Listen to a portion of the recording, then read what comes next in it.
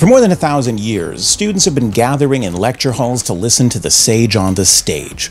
But shorter attention spans, new technologies, and empirical testing of learning outcomes have led us to question the tried and true historical transmission model of teaching and learning. This week, join me for a brief lecture on the death of lecture. Let's take 10 and take notes.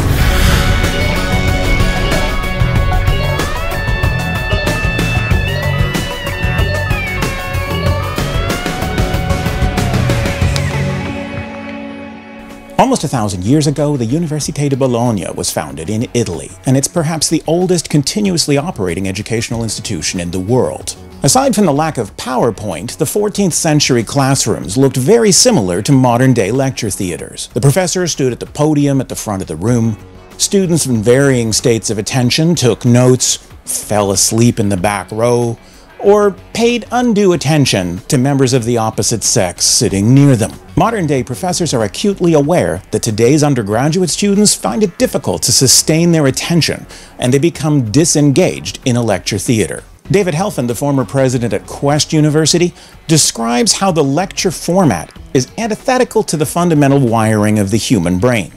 Education has been about taking beakers of full information in my head and pouring little bits of that information into your head mm-hmm. and asking you to regurgitate it on command to show that you have learned it. The brain is not designed for one way communication. We have a speech production center and a speech recognition center right here on the left side, and they're wired together and they're designed for two way communication. Okay. And the lecture is the opposite of that. So, that I think is the critical mistake that most of our ed- educational system is based on. The concept is not radically new. In the first century AD, Plutarch observed that the human mind is not a vessel that needs filling, it's wood that needs igniting. 21st century cognitive science applies modern tools like functional MRI to examine the human brain in the process of learning. One such study concluded that once curiosity is aroused, a dopamine spike turns the human brain into a sponge, ready to absorb new knowledge at a vastly improved rate. Curiosity is the drive to fill an information gap. The problem with passive learning modes is that curiosity doesn't have a chance to get engaged. Nobel Prize winning physicist Carl Wieman, who studies the issue of undergraduate science teaching and learning, has observed that fundamentally the lecture is ineffectual for learning, and that we have finally found some ways to do it better.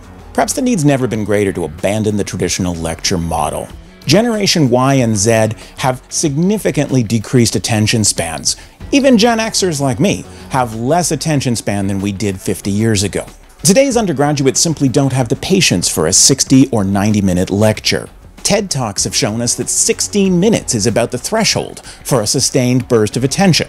Many podcasts, MOOCs, and training videos keep themselves to under 5 minutes. Recently, the organizers of TEDx Talks at Columbia University lamented the increasingly short attention spans of their audience. But how did learning officially die? How did we let it all slip between our fingers? Well, you might say there was an app for that. Long form information finally became obsolete. Content over six seconds wasn't being watched. Sharing smart ideas was next to impossible. Even the news had to shorten their format. Welcome to the news at 6. Sweden invades Russia. Murder in Manhattan. Weather cold. In sports, win, win, win, lose. And Grandma loves baking. Thanks for watching. Good night. There have been hundreds of teaching and learning studies examining the impact and effectiveness of lecture for undergraduates.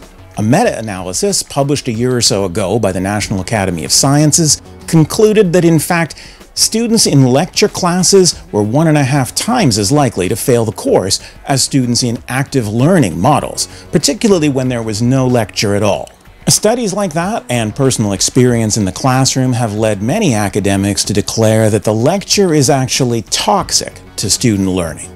So, why do modern institutions continue to depend upon the lecture as the primary form for undergraduate instruction? The simple answer is one of economics. Frankly, the revenue generated by large first year lecture classes subsidizes upper year seminars, graduate instruction, and even research. As per student funding has continued to drop, institutions have massified lecture theaters since the 1960s to try to make up on volume what they're losing on margin.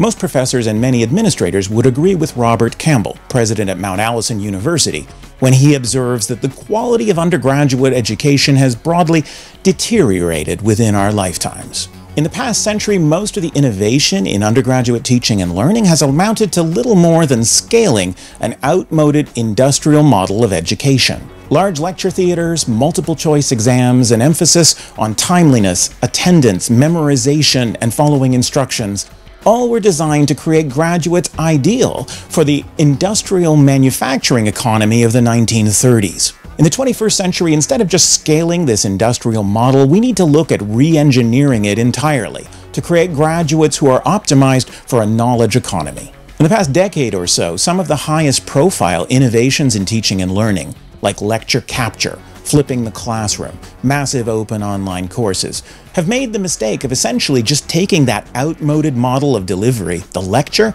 and scaling up the room so that instead of 1,000 students, you can teach 300,000 students at once. There's a well-established and well-known metaphor for understanding the various modalities of teaching and learning called the learning pyramid. The relative proportion of the various slices is in much dispute, but there's no question that for certain teachers, certain students, and certain subjects, there are a range of ideal ways in which to communicate content. The passive modes of learning include lecture, reading, watching videos, and watching demonstrations. But it's the active modes of teaching that are often overlooked in classrooms today, and many school boards university and college academic plans are emphasizing the need to encourage the use of these techniques. They range from small group discussion and project based learning to peer teaching opportunities that can be quite powerful as a teaching tool.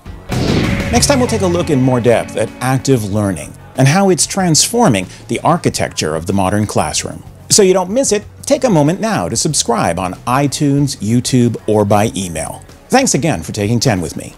Before you go, I want to share a dynamic new commercial for Trinity Western University. It's a 90 second spot full of energetic music and fast paced visuals. I think it's telling that only 1.5 seconds are spent in a lecture theater, at about the 46 second mark. Here are some excerpts, just in case you missed it.